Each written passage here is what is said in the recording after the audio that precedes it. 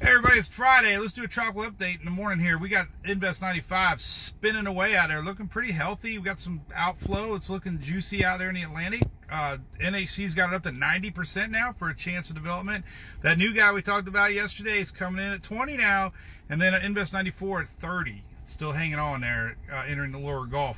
That one, yeah, you know, models are Mexico, maybe lower Texas juice. We got to watch systems in that BOC they call. Sometimes they can spin up 30% chance right now.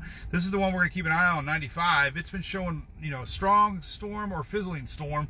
Barbados, Lesser Antilles definitely watching close uh, Sunday, Monday, and then next week we'll keep a really close eye as this thing gets in the Caribbean. That's called the Caribbean graveyard for a reason. We get a lot of storms die off, but this is keeping my interest pegged and others. The intensity models that we use a lot are showing a strengthening system here, uh, so that's kind of you know not turn our turn our back away from this.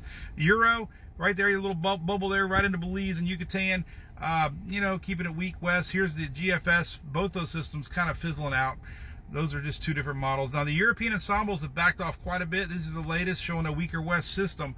Big change from yesterday. Uh, weaker goes west. There's the latest GFS showing a, a, strong system, then a little fizzle right there. But we keep an eye on it. Very rare this time of year. Let me tell you why. Our first hurricane usually isn't until August 11th, first major September 1st.